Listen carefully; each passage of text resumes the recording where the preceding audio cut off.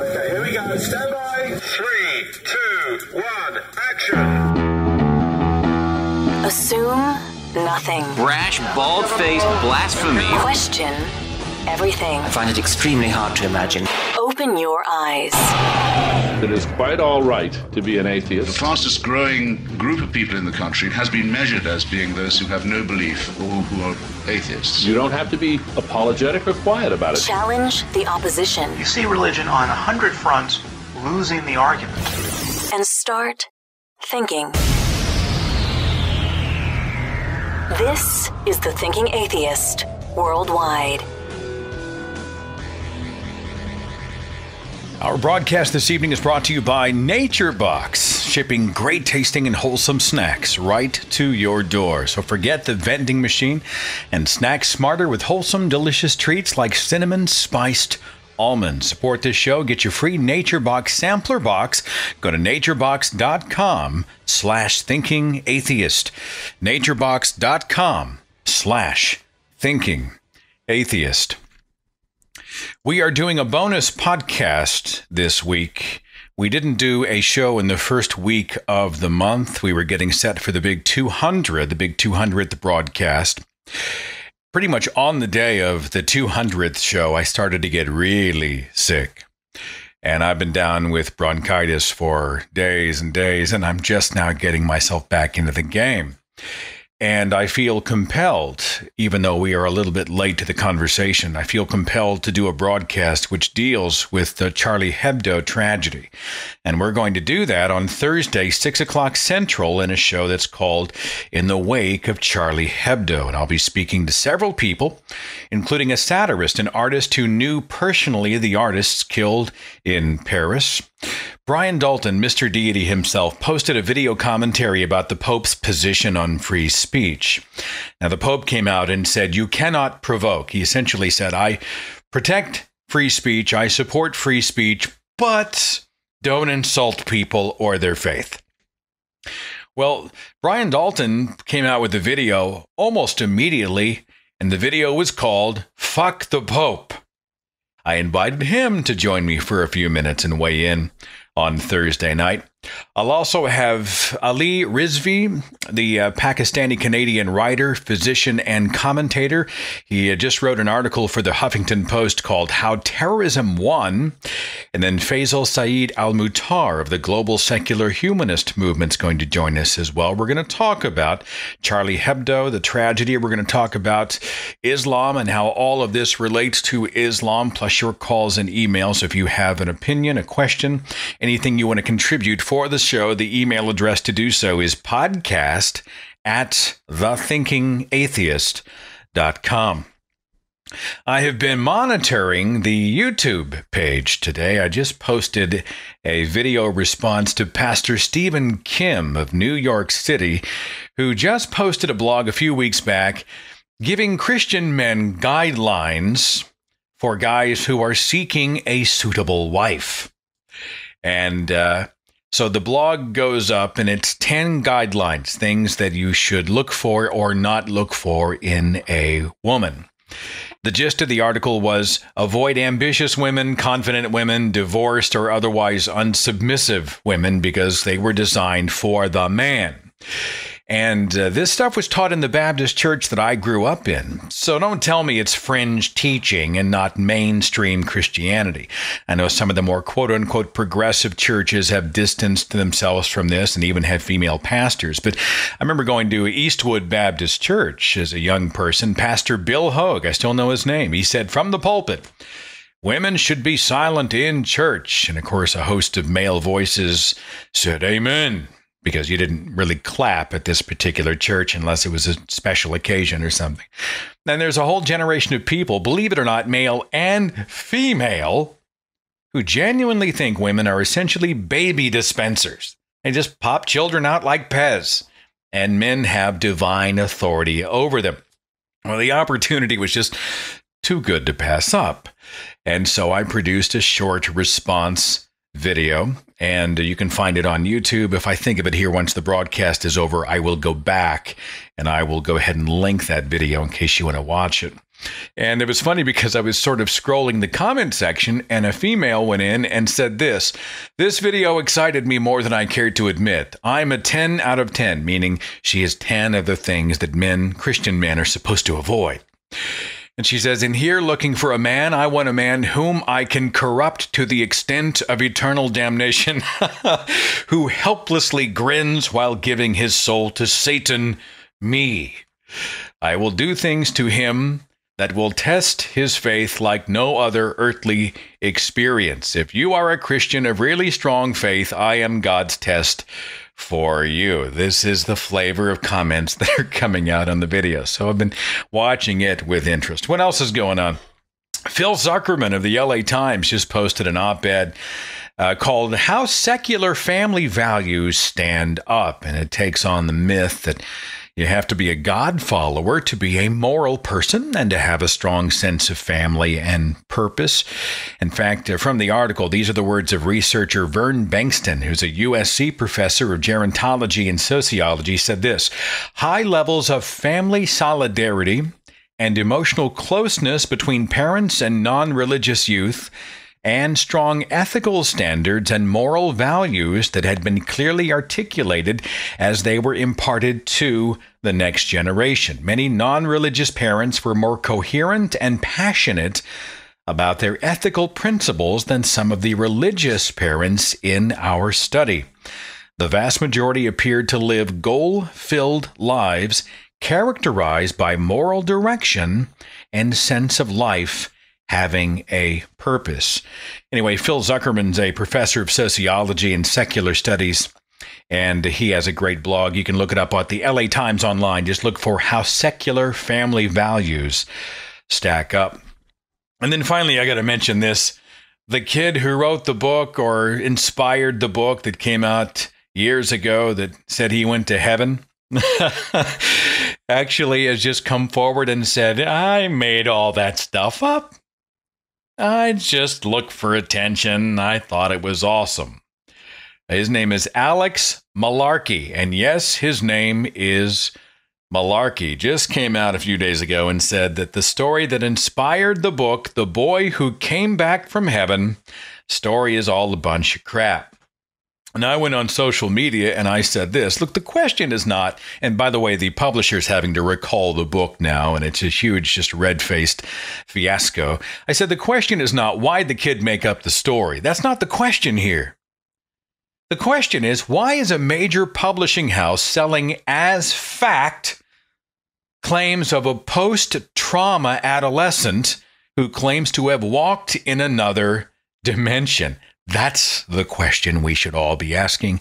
And I suspect, highly suspect, outside of the sort of desire to believe, I suspect the answer is money. Anyway, Tyndale House is having to go yank all those books off the shelves and recall the printing completely after all these years. Go figure.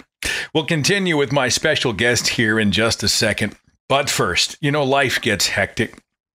And when you get in a hurry, it's easy to say, just screw it, right? I'm hungry. Give me the candy bar. Give me the convenience store muffin. Yeah, the one that's got 600 calories, 25 grams of fat. Have you looked at the ingredients on those suckers? My friends over at Nature Box have a great alternative to the chips, the candy, the sugar, the bad decisions we make when life gets ahead of us. And their website offers literally hundreds of nutritionist approved snack options Zero artificial flavors, colors, or sweeteners, zero grams trans fats, zero high fructose corn syrup. I got a box in last week. We're doing the Greek yogurt pretzels, the French vanilla almond granola. We tried something new. It's called sea salt pop pops. They're kind of hard to describe. It's like a blend of popcorn and cornflakes. I mean, I don't do it justice. You have to kind of try them. My stepdaughter is hooked on the Big Island pineapple. We've all got our favorites. There's something literally for everyone. A great way to support this show. Right now, you get a free trial featuring five of their most popular snacks. So check it out. Log on to their website at naturebox.com slash thinking atheist. That's naturebox.com slash thinking atheist. And thanks for supporting the broadcast. Greatly appreciated. For 19 years, Ryan Bell was a pastor, most recently senior pastor of the Hollywood Seventh day Adventist Church. In March of 2013, he resigned due to what he called theological and practical differences. As an adjunct professor, he's taught subjects ranging from intercultural communication to bioethics. He's currently a researcher, writer, and speaker on the topic of religion and irreligion in America. In January of last year, almost exactly a year ago, he began a year long journey that explored the limits of theism and the atheist landscape in the U.S., and he blogged about that experience on his blog at Patheos, Year Without God. Has a Master of Divinity degree from Andrews University in Berrien Springs, Michigan, and a Doctor of Ministry in Missional Leadership from Fuller Theological Seminary in Pasadena, California. He joins me on the radio tonight. Ryan Bell, thanks for being my guest, my friend. Oh, it's such a privilege to be here. Thanks for having me. You have probably been pawed at by quite a few people, right? After releasing this story about the blog, about all that stuff. Have your phone and email been going absolutely crazy? Yeah, absolutely crazy. I can't even keep up with it. In fact, I've even missed a few interviews, luckily not live interviews like this one. So, well, let's talk about this and let's start at the beginning. You decide you're going to live as an atheist? Is that mm. the idea? I'm I'm going to pretend I don't believe in God, or had you already sort of gone there and decided, let's see what happens? I mean, get me into your head in January of 2014. In January of 2014, I really didn't know anything about the atheist movement or community beyond a couple of famous authors. Um, Seth Andrews. Wait, no, it wasn't. It wasn't Seth Andrews. Just stop. Just stop. Uh, but I, you know, I really didn't. I really didn't know what was out there waiting for me, and so I, I really, as you suggest, I had come to the edge. You know, sort of to the edge of the of the precipice, and and I. It, it's not, as some have said, that I had a strong Christian faith and just decided for the kicks. You know that I would just pretend not to believe anymore. Like I came to the edge of my belief and I didn't want to just discard it hastily. I wanted to see if I could keep it if I if possible and because it had served me in many good ways over the years. Um, but I had this suspicion that God was not there, that there was no God, and I really wanted to take a year and test that out and see both intellectually and experientially where that path would lead me. Well, let's pinball back to your childhood. Raised in a Christian household? Yeah, my folks were Methodists when I when I was born, um, and then by the time I was about five or six years old, they became Seventh Day Adventists. Um, and so, of course, I just went to church. My younger brother and I with them, um, and grew up in the Seventh day Adventist Church for all intents and purposes. We explore different denominations of Christianity on this show, but give me the Cliff's Notes version Seventh day Adventist. What separates them from, say, the Methodist, the Lutheran, the Assembly of God, the Baptist? Well, the, the Seventh day Adventists were a mid 19th century phenomenon in northeastern United States. During the Second Great Awakening, there were a lot of revival movements, uh, millennial movements, which were uh, groups of Christians that believed that Jesus was returning to the earth personally to take the redeemed to heaven, you know, any minute now. And um, so the, they began as the Millerites, uh, named for uh, a, a farmer named William Miller who read Bible prophecy and decided that Jesus was going to return to earth in October 22, 1844. Um, so, and then, so that day came, and spoiler alert, um, Jesus didn't come back, and uh, Adventists refer to that as the Great Disappointment. very, um, not very euphemistic uh, kind of expression.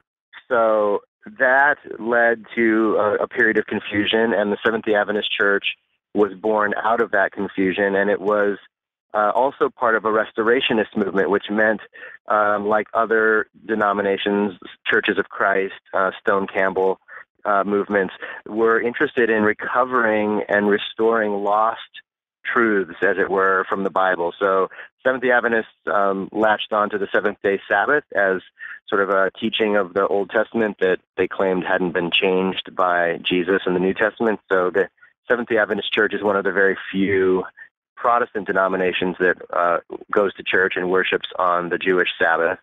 And the Adventist part of the name is this idea that Jesus is returning to the earth very soon.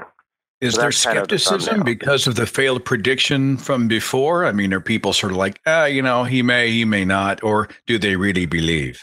Well, you know, this is this is an interesting point. I mean, I think there is a, there's a group that really believes, and what what happened was uh, after 1844, the new theologians of that time were they sort of moved the goalposts. They said, you know, the date we got right, but the, what was supposed to happen on that date uh, we got wrong. It was some uh, transition in the heavenly sanctuary that is what was happening on that day. Of course, nobody could verify or disverify that. It's just something that they claimed. And so people sort of latched onto this new idea. So I don't know if the skepticism just went underground, but it's getting harder and harder after 160 years or so uh, for people to say Jesus is coming very soon, even when you think of soon in that biblical sort of way. Ryan, if you're a product of a Christian home, are you involved in the culture of the church? You guys going to Sunday morning church, Sunday evening? Are you participating in church activities? I mean, paint the picture for me. Growing up, you mean, and as a Yes. child? Yeah, I mean, as your Yeah. your formative years, your youth, that kind of thing. Yeah, for sure. Like we have um, in the Adventist Church, we had um, a co-ed Boy Scouts kind of uh, club called Pathfinders, and I was involved in that as a kid. Usually one evening a week, camping trips, that kind of thing. Every summer there was a big camp meeting, uh, kind of a Methodist camp meeting type thing that we would go to. My grandparents would go, and uh, we would listen to speakers. There was youth retreats. I went to summer camp as a kid, and up in the mountains outside of Hemet here in Southern California. And so I, I really was pretty immersed in that world. I was always a very spiritual kid as well. I, I sort of, I, I wanted to study the Bible. I wanted to understand these mysteries, and I spent a, a lot of time thinking about that, even as a teenager. And I guess that's probably what led me to think I was called to be a pastor. I just had this sensibility about it. I really wanted to know to connect with this divine reality. I'll get to your apostasy here in just a second. Tell me about seminary. Are you honestly exploring the scriptures or are they training you to formulate sermons? Yeah, there was a little bit of both. I would say that the biblical studies uh, and the theology departments were, well, the biblical studies department was definitely more teaching us to study the Bible. I mean, it always had an eye to making sure we had the right interpretation. so, um, and, the Adventist Church has, you know, very firmly declared that the historical critical method is off limits because that's a liberal way of reading the Bible. Uh, for those that don't know what that is, it's just basically uh, a way that theologians read the Bible in its historical context and treat it as they would treat any other historical text. Um, of course, conservatives really frown upon that because they say that the Bible is divinely inspired and has to be treated differently. So even though we were studying the Bible, we were sort of forbidden from going down this historical critical path. And then when it came to the you know the practical classes about how to run a church and how to grow your church, it was all very much sort of I, I call it vo- vocational technical training for being a pastor. It's not really critical thinking. And it didn't even, in my case, include liberal theologians that I later read and studied myself. Uh, it was very much in the party line, um, teaching you to be an Adventist pastor. I said the word apostasy in regard to you. Is that an accurate word? Are you an apostate? I guess so. I mean, apostate, I guess, means someone who's turned their back on the on the group or on the on the tribe, and um, yeah, it, it feels like a harsher word than what I personally feel. I, I feel like a reluctant apostate, I suppose. I feel like someone who would have preferred to discover that it's all true. Um, I liked being Christian leader.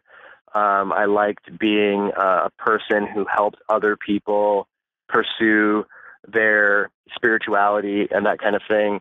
Um, I had God in my mind in my mind frame as a a person, a being who helps make sense of the chaos of the world. It was a comforting idea, but not just a comforting idea, but an intellectual framework as well. So I suppose I am an apostate, um, but reluctantly so. I mean, I think I didn't, uh, like I said in one of my blog posts at the end of the year, I, I didn't do a, a victory lap uh, at the end of the year. I sort of said, well, I think this is probably the size of it, and uh, what do we do now? I saw a recent article, I think it was on uh, Charisma, uh, that was titled, Why Are So Many Christians Turning Into Atheists? And your photograph was at the top of the article. Yeah. Does the word atheist I, make you uncomfortable, Ryan?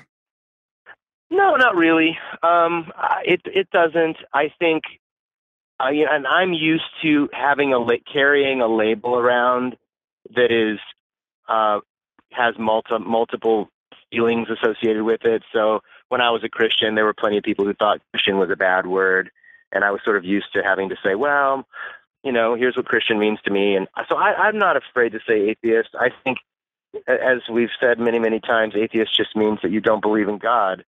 Um, it doesn't mean that you have proven that there's no God or that there's uh, any particular kind of empirical evidence of God's non-existence. I just you know, for my effort, I have I've not been able to determine that there is a God, and the world just makes more sense to me when I hold on to this idea, when I sort of embrace this idea that that there isn't a God.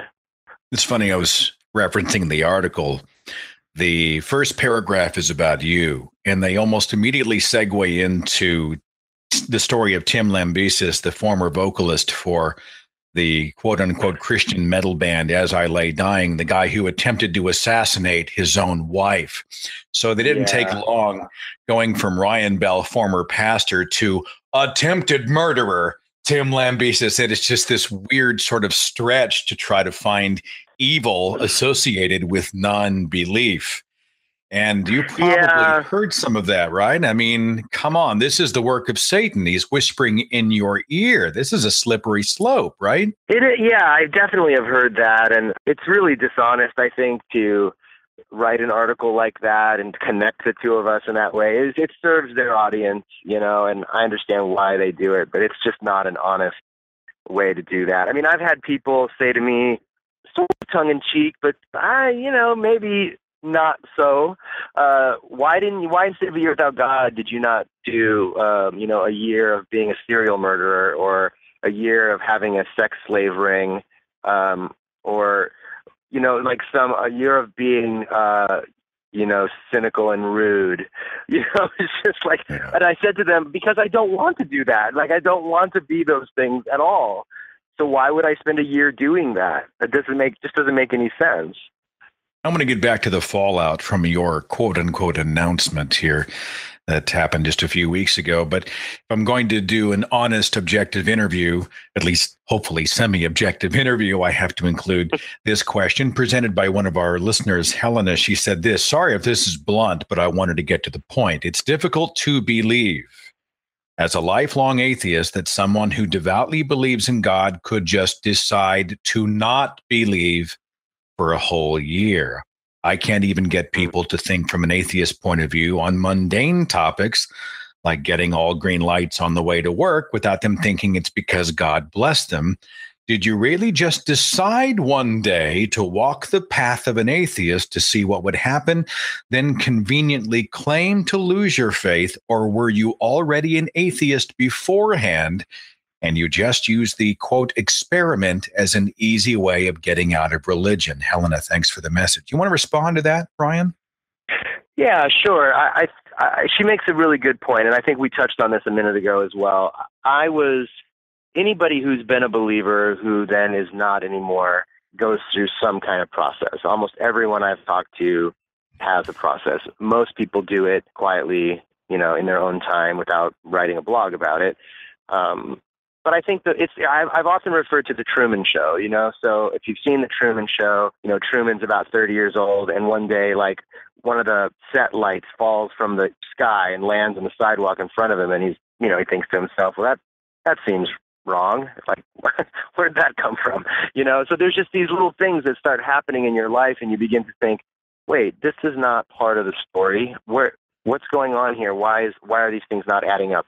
That had been going on for me for ten plus years. Um, and when I started Year Without God, I really was, like I said, on the cusp of having lost my faith, or maybe even saying I lost my faith. But because it had been such a meaningful thing to me for so many years, and I and it was not just a personal thing, it was a career, it was a lifestyle, it was everything. My whole life was wrapped up in it. I didn't just want to throw it over my shoulder and walk away. I don't even know if I would have been capable of doing that. I really needed to step into this new water and say, okay, what's the thinking process here? What are the arguments? What is the are atheists all nihilists? If not, how do they avoid being nihilists? Is there a like you referred to Phil Zuckerman's piece a minute ago? Is there morality without God? And if so, how does that work? And you know, all of these questions are questions I hadn't really explored. So I took the year to basically say, am I really an atheist or am I am I just a uh, disillusioned Christian still? And so that was the process for me. Diving into the culture to try to see it in three dimensions, would that be an accurate Yeah. way to say it? Yeah, I think so. And I, I again, it wasn't just an intellectual experiment. I, I actually went to some conventions, met people, talked to them, interviewed them, heard their stories, compared notes. Um, yeah, so it was an insider view. And I think in order to really legitimately get an insider view, I needed to say, I think I'm an atheist. I'm not sure. I don't really feel comfortable calling myself an atheist right now, but I'm going to live this year with that assumption. Like, let's, my, my sense is perhaps there's no God, so let me live this year from that point of view, from saying, okay, there's no God. Um, what do I do now? So the skeptic looks and they say, well, you could have made this journey quietly. Why make a public announcement? Why the documentary film crew? Why make this such a big deal? And so that all these eyes are sort of watching you.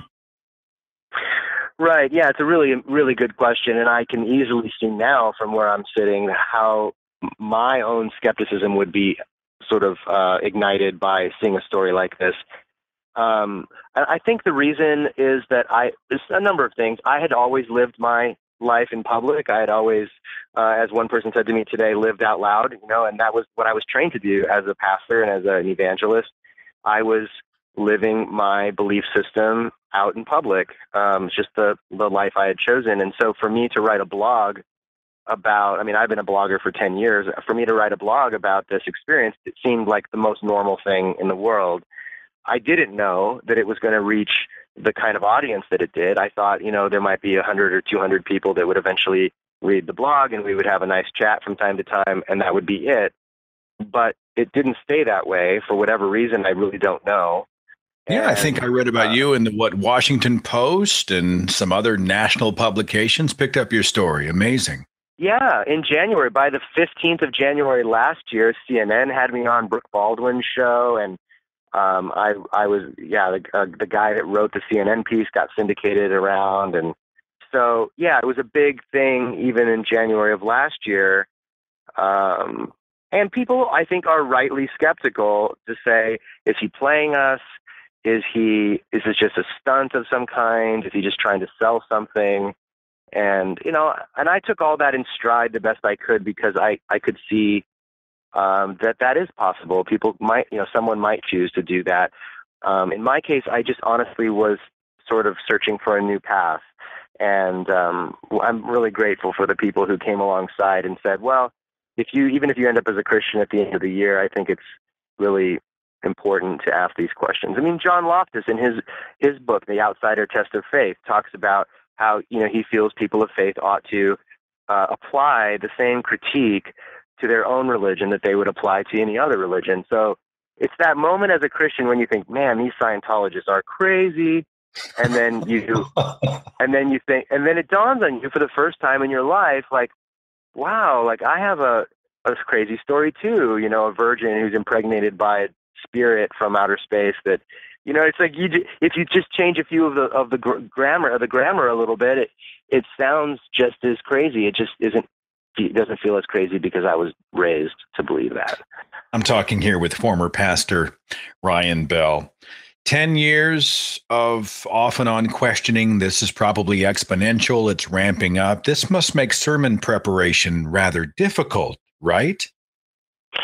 Sure. Yeah. I mean, I think there's definitely less material to preach from um, the further you go down this road. Um, I mean, I think the liberal Christian church provides uh, a lot of resources for that because there are plenty of uh, liberal clergy who don't think that the miracles are literal, that Jesus didn't really raise from the dead, um, things like that. But they continue to use these stories of Jesus and the Gospels and some of Paul's admonitions to encourage people to live good lives.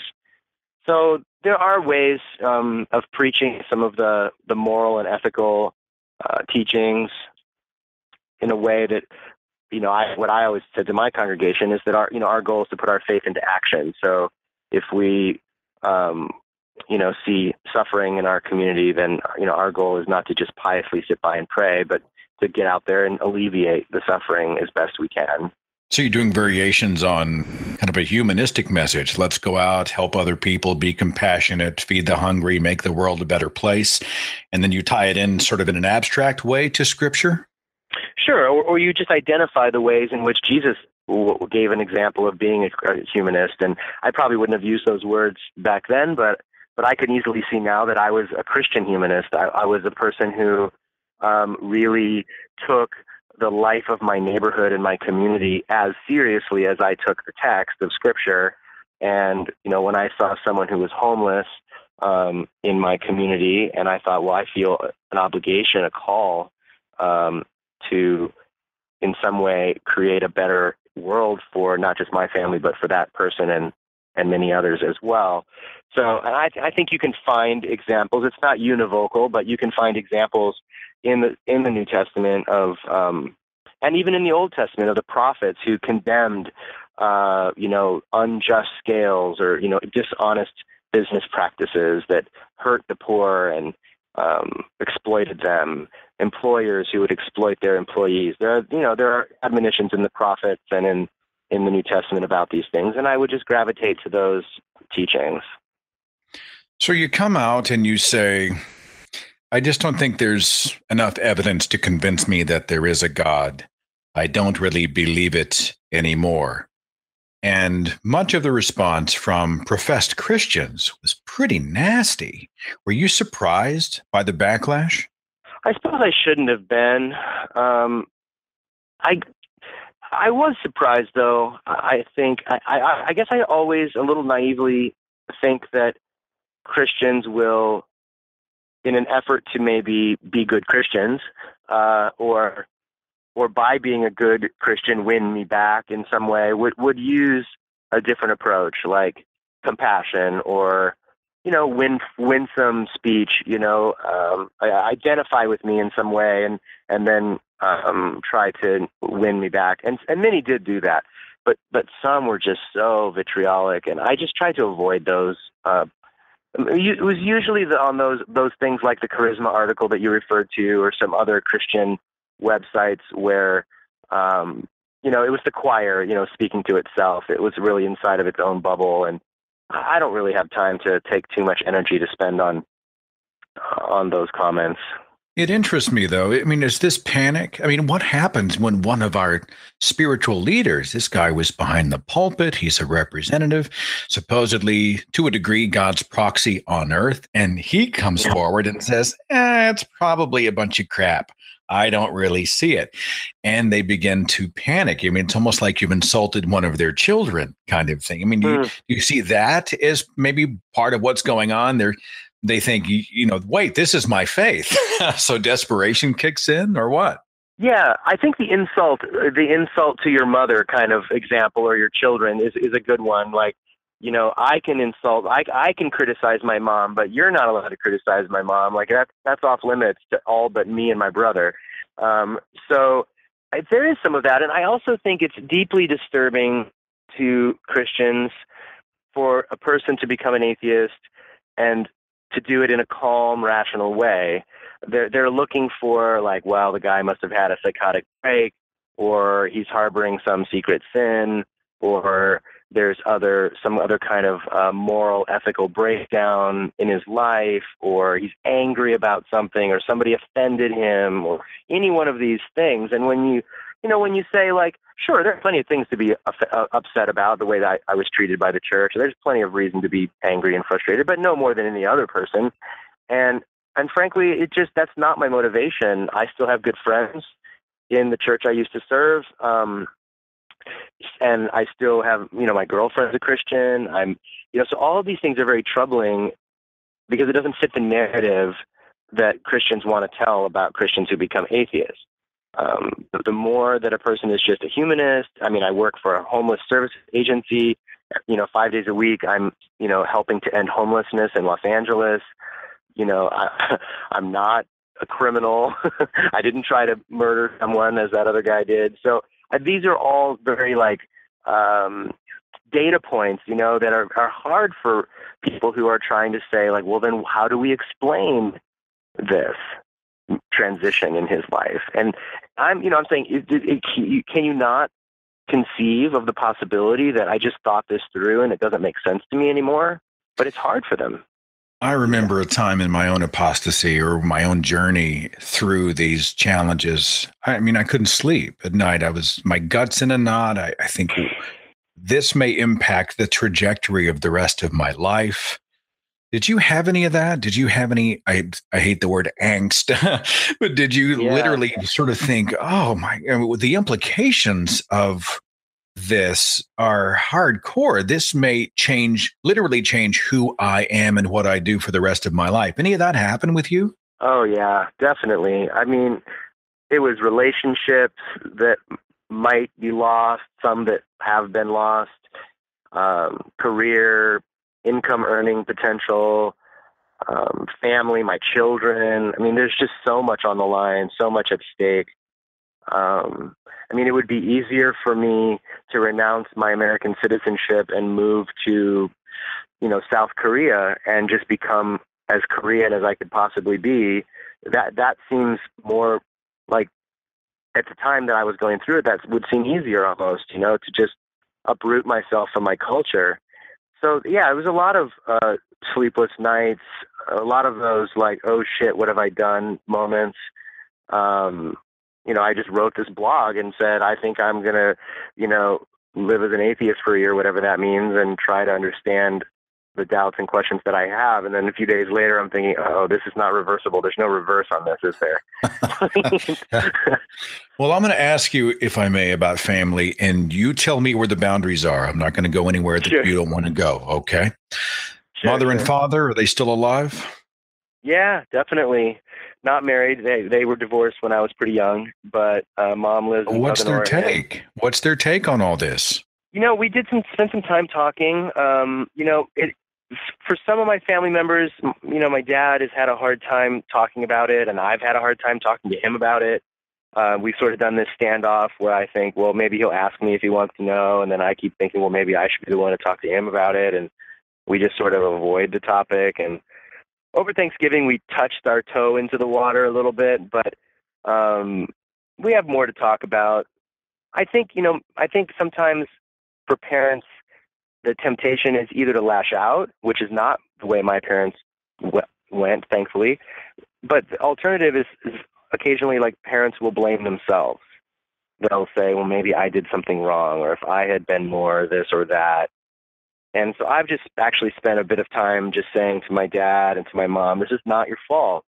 Um, you did the best that you could do, and that you did what you knew to be right and good for me. And I don't hold that against you just because I decided later on that it isn't true. Um, I don't have any hard feelings about that.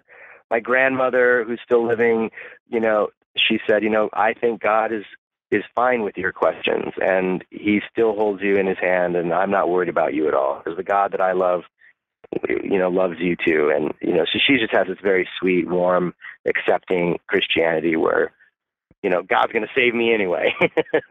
hey Ryan, do the Seventh Day Adventists do they do hell? Do they believe in a literal hell of fire and no. brimstone or no? No, we you know I used to tell people for Adventists hell is more of an event than a place it's not a, a place where people go and suffer. Um, for for Adventists, hell is a, a moment in time when the sort of those people who uh, stubbornly refuse God's mercy uh, are destroyed, but it's over and done with. It's not that they suffer and burn forever, and then the earth is cleansed by fire and recreated by God as this new new heaven and new earth and the righteous you know those that god has saved will live forever in that paradise but the, but the lost are just gone and uh, theologically it's sometimes referred to as annihilationism that once the once the sinners are annihilated they're they're no longer they have no consciousness they're not suffering or they're not down in hell thinking oh my god i wish i could be with my loved ones nothing like that well, at the very least, your folks aren't thinking about their son being tortured for all of eternity. I mean, that's a relief. Uh, right. Because many yeah, parents put sure. themselves through that. If only I had shown my child the love of Jesus even more, they would have escaped torment. And they've got these horrible sort of visions of fire and pain and just it's just tragic to see what happens in this scenario. One more question before I go to the uh, switchboard, if I may. Your girlfriend wrote a blog or she posted something on Facebook that you pasted into a blog? What's that about? Yeah, you know, she's been walking with me this entire year. Um, well, almost this entire year. And she, you know, we met actually because I had known her sort of tangentially, just casually, uh, and we were friends on Facebook. And I posted my original blog post that started it all. And she wrote me a private message and said, you know, as a Christian, I think what you're doing is really great. Um, I think more people ought to take their faith and examine it in that way. And it surprised me. And we had talked about, hey, we should get coffee and and meet up at some point, and we just never did. You know, you say that to some people, and it just seems like it never happened. And uh, she said, well, I said to her, well, maybe we ought to get that coffee we've been talking about, and so we did, and we we kind of hit it off, and we just kept talking and um, hanging out, and then it turned into dating. And she's, you know, it's been hard for her at times, I think, because it's sometimes hard to be kind. Like I've tried really hard to be gracious about all of this with people who still believe. The last thing I want is for my Christian friends to think I'm telling them that they're stupid for believing, because that's what I think a lot of Christians receive that message from atheists, whether it's intended or not. Um, no, often it is intended. Trust me. Sometimes I mean, it's not, intended. certainly not from all of us, but many of the most vocal among us love to play Right. that card. You know, you're all well, idiots. yeah, like the right, and and the analogy to Santa Claus just makes it's like so. I'm just this infantile, childish person who believes in Santa Claus, and you know I've been meaning to write this blog post all year long, sort of saying like I get what you're saying with the Santa Claus and Tooth Fairy analogy, but it's quite different than that for a believer. You know, it's not the analogy only goes so far. So I've tried really hard to respect my Christian friends, many of whom have PhDs in theology. They're not conservatives. They're very progressive in their views, and their faith is much more evolved than, say, some um, some of the new Christians you read about in the news, uh, or like this guy who put up that ten things to look for in a woman that you mentioned a minute ago. I just read that today and nearly vomited. it's you know, so terrifying. Terrifying Yeah, that people Well, would I- use this as a measuring stick for choosing a life partner. It's tragic. Yeah, exactly. And my none of my Christian friends would would they would go as as as, as heavy as I would against against that that kind of talk. So I, I think you know what I've tried to do is be cautious, and my girlfriend has has helped me. Anytime I try to get, or anytime I'm tempted to get too snarky or or um, you know lash out in a way that's a little generalizing, that's not fair to some Christians, she reminds me not all Christians are that way. You need to be clear in what you're writing about what you're exactly meaning. So it's been good. Well, what'd she I say in the her blog? I mean, can you give me the Cliffs Notes version? What, what was she trying to communicate on your behalf? Oh yeah, you know, she said, you know, that she um that our relationship is about more than this topic. You know, that some people have said, "How can you guys be in this relationship?" And you know, our our sort of quick comeback on that is, well, we don't talk about year without God all the time. Like we talk about other things. We have a life. We have jobs. We, and then her funny comment was, you know, that I'm the kind of guy who helps around the house and I do the dishes. And then she quips, Jesus doesn't do the dishes, you know, whether there's, you know, so, you know, whether there's a Jesus or not, somebody's got to do the dishes. And, and that's the basis for uh, our relationship. We share a passion for justice and goodness in the world. She's a humanist as much as I am. Um, she happens to believe in God, and even at that, she's sort of a I would call her a a, a weak theist in Dawkins' scale, kind of almost an agnostic. Ryan, if you have a few minutes, let's run to the switchboard and see what our callers have to bring to the conversation, okay? Let's do it. Area code 850. Thank you so much for waiting. You're on the Thinking Atheist radio podcast. Who's this? Hi, this is Sarah. Hi, Sarah. Thanks for calling the show. You're on with former pastor Ryan Bell. What do you have for us tonight? I actually have two questions for you guys. One is what influenced you the most, do you think, to let go of theism? Would you say it's philosophy, history, or science? Yeah, that's a really, actually, a really good question, and I've framed it almost exactly like that a few times. A lot of people leave theism because of science. Um, I would say that's almost the predominant one I hear about. Um, and for me, though, because I tended to be more of a philosopher in the beginning, um, I think a little bit more towards philosophy. But really, I think my answer is history. This idea that God has shapeshifted throughout history depending on the culture and the needs of that group of people. You know, I'm I'm really convinced by this sort of idea that we create gods uh, around our moral convictions to elevate them and enforce them and that sort of thing, rather than the other way around, where God creates us. That's the whole notion is very convincing to me. That's very convincing to me too. When I look at the different mythologies throughout history. Right. What was your second question? I have a passion for evolutionary theory, but I live in a place where it's predominantly creationist. And sometimes I'm not sure how to deal with it because there's so much beauty in evolution that they don't want to understand it. So, um, do you have any advice for that? Hmm. Well, I wish I did, especially when it's culturally related to your where you live. You know, to me, this is one of the great tragedies of uh, a certain kind of theism, and I think that the real tragedy is that kids aren't getting a thorough education uh, in many cases. And and I also just think that for a Christian or for a theist, uh, evolution isn't intuitive. It's not. Uh, it's almost in some ways counterintuitive you know, the whole like, well, if you, you know, if an auto plant exploded, you wouldn't expect the pieces to come down in the form of a Dodge Viper. You know, it just it, it would be a big pile of mess. And of course, that's true. Uh, so, but it's these appeals to sort of logic in the sort of traditional way. And, and this is what leads evolutionary theorists and scientists to say, but this is the whole point of Darwinism. He showed us that this counterintuitive thing is actually what's happening. So, uh, you know, I don't know how we go about trying to persuade people who don't want to consider that evidence or see it for what it is. I think over time, though, it will shift. And I know that calls for an uncomfortable amount of patience, but we're probably dealing with the emotional response. It sort of goes against our specialness.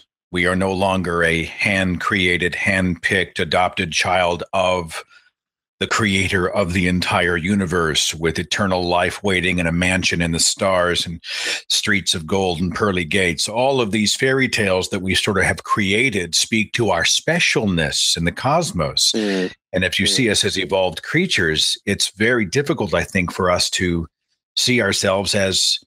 Uh, I don't want to say we're not important. I mean, I think we create important in our own life, but it's it's very sobering in many ways to realize the universe does not care if we exist. And I think that's a hurdle we have to get over if we're going to educate people about what evolution is and isn't. Ryan, did you understand the basics of evolution when you were growing up in a Christian culture? No, I really didn't growing up. I mean, I remember, and I've said this a couple times before, I remember watching like a National Geographic special with my family and you know the narrator would say make some reference to millions of years ago and and I can distinctly remember on multiple occasions thinking to myself well, that's not true. We all know that, you know, and and it's just it was so obviously wrong to me. I didn't even think about it, and it, what's weird is I didn't even it didn't even occur to me or or or, or trouble me that these really really smart scientists all had it wrong. Like that didn't. You'd, you'd think that you would say like, well, here I am, a 14 year old kid, and I think I'm smarter than all these guys who and gals who've been studying this for years. Um, later in life, I did come to the point where I thought, okay, this doesn't make sense. And then I said, well, Genesis clearly is not a literal account, especially seeing as how there are two different ones uh, in Genesis 1 and 2 of how the earth came to be. So perhaps they're both compatible, and I lived in that world for a while. I think it also has to do with how we explain evolution. Because um, have you guys heard of the paleontologist Neil Shubin. He wrote Your Inner Fish, and he explains evolution beautifully. He basically gives you the idea of the family tree of life, and that you can take any two species and compare their DNA to see what common ancestor they had and when they had it. So it could be best to put an idea like that out there. Evolution is basically just how species relate and the common ancestry that they share.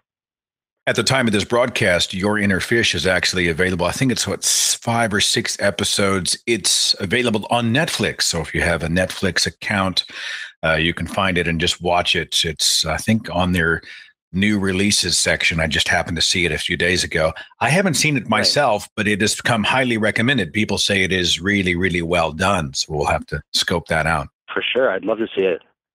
Thank yeah, you so I, much for the call. Does, oh, I'm sorry. Go ahead. Yeah. Go ahead. No, no, no. I was just going to say in follow up as, as, we move to the next one. I thought, you know, your point about it, it really rocks the narrative, you know, because if, if evolution is true, then there's not original sin. We weren't pristine and perfect in a garden, and we didn't fall from grace. And so the whole thing begins to un- unravel from the very beginning.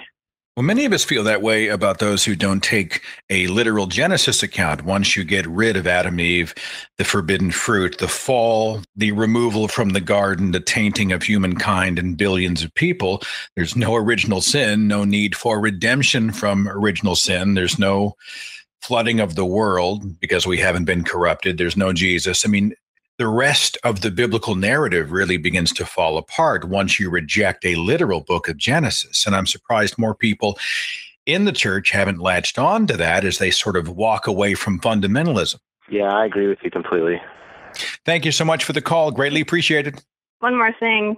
I do find a contradiction in what they say when they tell us that humans are above other beings. And then they say you're not allowed to be human, basically. You're not allowed to have sex or have different thoughts. So it's contradictory. I see that contradiction too. Like we are, you know, this beautiful creation. God doesn't make mistakes, you know, but the first thing you learn as a Christian is all the things that you have to avoid that are part of your natural being. And so, I mean, I think my experience with gay and lesbian Christians in my own congregation presented that contradiction pretty starkly, where you know, you know, God is perfect and God creates you know beautiful things, except for unless you're gay, then you're not allowed to be that way. Hey, thanks for calling the show. Greatly appreciated. You're welcome. Area code 407. You're on the Thinking Atheist radio podcast. Who's this? Hey, this is Jeffrey from Orlando. Thanks for calling, Jeffrey. What's going on? Not much. I just had a quick question for both of you guys, actually. Now, I know you both have probably had this asked multiple times over your careers, which was, um, you know, how you got away from religion and became secular. But now, let me just put this out there. I'm not in any way, shape, or form trying to reconvert you. I'm just a genuinely curious atheist. But what would you say is some sort of either event or grasp of knowledge or some sign of proof would bring you back to religion like because i've had people come up to my door proclaiming to know the truth they'll say oh you're going to go back to religion in the end but what would you guys say would bring you guys back ryan I was going to throw it to you. Um, uh, that's a really that's a really interesting question. Well, I mean, I think you want to think about it for a second. Yeah, I mean, no, yeah, you go for it. Well, I'll, I'll i remember when I saw Ken Ham and Bill Nye debating last year at the Creation Museum, and they ask, and what many people don't know about the one of the final questions from the audience is that it actually came from a member of the thinking atheist community. And here's the story, just in a nutshell. A young lady sent me an email and she said, I have tickets to the debate. I'll be in the audience, and they're asking us to submit questions, to prepare questions. I think I want to submit a question, but I don't know what to ask. What would you ask? And I responded and I said, Well, what I would ask is, what would it take to get you to change your position? And that was one of the questions that was selected from the audience and was asked to both Ken Ham and Bill Nye. Ken Ham essentially declared there's nothing that would ever make him reject God or change his mind. He's set in stone, period. Bill, in a very relaxed delivery, just said one piece of evidence is all it would take for me to change my position. And that is exactly how I feel. If Jesus shows up tomorrow, and I tell this to religious family members and friends to assure them, if Jesus shows up tomorrow, if Thor or Wotan shows up tomorrow, if a deity of any brand or caliber or form shows up, I will evaluate it based on its merits and we'll figure that out. Whatever is true, that's what I want to do it's not that I woke up one day and said, Today I want to be an atheist. Tomorrow I want to be an atheist. It's I just want to live a truthful life. And I, like Ryan, have put the puzzle pieces together, and there's no God there. There's just no evidence for it. And if the evidence appears in five minutes, we're going to reevaluate that evidence and we will go that direction and see where that takes us. And if new evidence appears the day after that, we'll go that direction. Wherever the evidence leads us is where we're going to go. That's how I would respond. How'd I do, Ryan? yeah, yeah, no, I think that's that's right, and I, and it's not just any piece of evidence either. Like I, my friend the other day said, um, my yeah, my friend actually was just last night. I was talking to my friend Bart Campolo, and he said just one one regrown limb on an amputee would that would do it for him. And I thought that that would be pretty compelling. That that would be I would definitely have to, especially if it was verifiable and all of that. You that would be pretty pretty convincing. I'm also um I'm not a huge science fiction nerd, but I do love a good science fiction story, especially if it it's as close as possible to science and less fiction. Um, so I'm always thinking like you know, the search for extraterrestrial intelligence, you know, Shermer's last law that, you know, if we encountered a, a more intelligent species um, out in the universe, um, th- that, that species would appear godlike to us. Um, anything more intelligent than us by a, you know, a fairly large leap would seem godlike to us. And, you know, if we, through some scientific discovery, um, came across uh, an intelligent life form uh, that created us uh, in some fashion, then yeah, I mean that that would seem that would if, that, if there was evidence for that, then then that would be like Prometheus. You know, you you go out and you find these engineers who built us or something like that. Then we would have to accept that. Um, I don't know if it would be God or not. I was going to say I definitely want to speak to them about their whole design on the human race because there could be a few tweaks that could be done. Yeah, and they would probably admit that too. They they would probably say, "Well, we were doing the best we can, man. We were like in fourth grade science class. You know, what do you, what do you expect?" Why do um, I have nipples? That's what I yeah. want to know. What are these yeah. for? I I don't. Never mind. That's a whole other. I think it's just right. I just think it's symmetry. You know, it's just symmetry. Do you think there's life out there? Like I myself and the romantic in me thinks as vast as the universe is, and as much as we don't know, I think there's life in some form somewhere, probably in a way that we couldn't even conceive of, something we haven't even thought of yet. I, I sure. just think, yeah, there's something out there. What do you think? I think so. Like, I think that that I like to think so, at least, you know, and it doesn't change my life whether there is or there isn't. Um, but I think human beings love to think so. We make a lot of movies about that stuff, you know. and yeah. uh, there's a lot of fear around it. Um, but but yeah, I think that the universe that created, if we can use that word, um, our planet and all of us over a long, long period of time certainly could have created or produced some other uh, life form, um, whether it's intelligent or how intelligent, you know, who knows. Um, but yeah, like I think uh, that can that search goes on, and I'm certainly open to the idea that we're not completely alone in the universe, and that there's more going on out there, and that there's some kind of thing that's. I mean, I, I tell people that what's apparent to me is that we are more than the sum of our parts. Um, and and I think we would, you know, roughly think of that as consciousness. You know, we're not uh, we're not plants, we're not even cats. We're something more than that. You know, and and that something more, I think, creates in this in in people this desire to connect it to something divine outside of us uh, because we can't search it, you know, inside of ourselves. And that, I think that keeps us looking for uh, you know, what might be out beyond us that may have made made their mark on us. But you know, until that time that we find that, I'm certainly content being just who I am. I've actually heard that as an argument by an apologist. I mean, if we're evolved, why us? Why did it stop with us? And of course, the whole time I'm thinking, stop. you know, I mean, right. our, uh, you know, we're talking about billions of years. Who knows what life will look like? You know, if, if the big asteroid hasn't impacted the planet by then, I'd be curious to see what life looks like on this planet. Anything else before I move on, sir? No, I think that was about it. Thank you so much for calling the broadcast. Greatly appreciated. Thank you. So you enjoy sci-fi? Did you go see uh, Interstellar? Did you go check it out? I did. Yeah, I loved it. Uh, you know, it's a it's a mind bender for me. I'm not a physicist, so um, but I loved reading some of the articles afterwards too um, from the the Caltech uh, astrophysicist who was the consultant on the project, and I, I like what I love. Arthur C. Clarke was this kind of writer. Uh, Orson Scott Card, to a degree, is this kind of um, of writer that their science fiction hews as close to science as they can. Um, they're not making huge leaps of logic, but just stretching what we know into what we what might be possible. I just I think it's fascinating.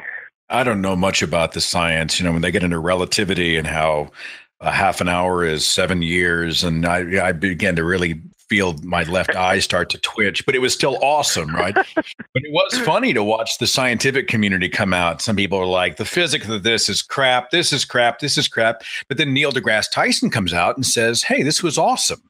You know, this yeah. was it was a pro science film. It it got a lot of things right. He really took an optimistic view about it, which I thought was cool. I had a great time. I mean, it's you know, it's a three hour film, so pack a lunch, yeah. kids. But uh, yeah, I think you know. I think one of the misnomers about science in the Christian community, at least one that I had embraced, was that science is about reductionism. It's about reducing all this beauty and telling you it's all just atoms. It's all just you know uh, molecules. There's you know, and it takes all the beauty out of it.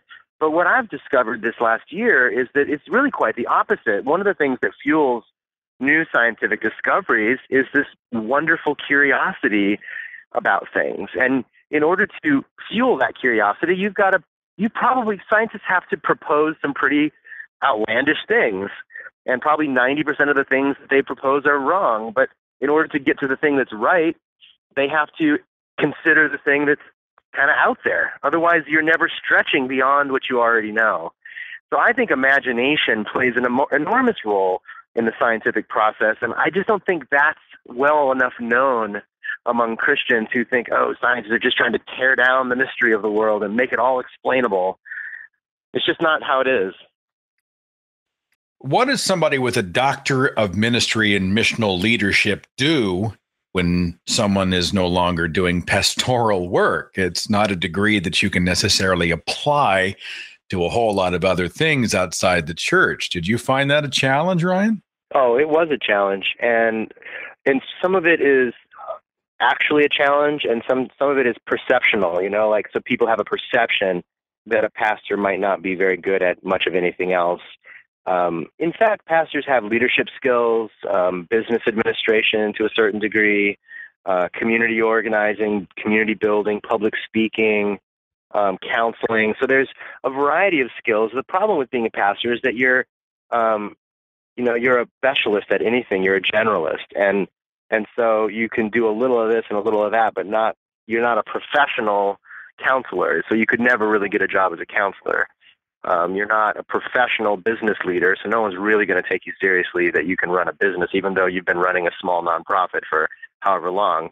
Um, and my degree was in leadership, so there are a lot of transferable principles, but the fact that it comes from a religious school with a religious subtext makes it difficult for that degree to be applicable in most people's eyes. I think that's why uh, the Clergy Project is so important because it does help people pivot out of religious life into something else. Sounds like you're helping homeless people. I mean, what's that about? What are you doing?